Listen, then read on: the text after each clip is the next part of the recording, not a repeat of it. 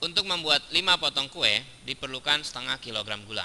Jadi 5 potong kue dia butuhnya setengah kilogram gula ya. Jika banyaknya gula yang tersedia 2 kilogram, nah ini dia punyanya 2 kilogram. Berapa banyak kue yang, yang dapat dibuat?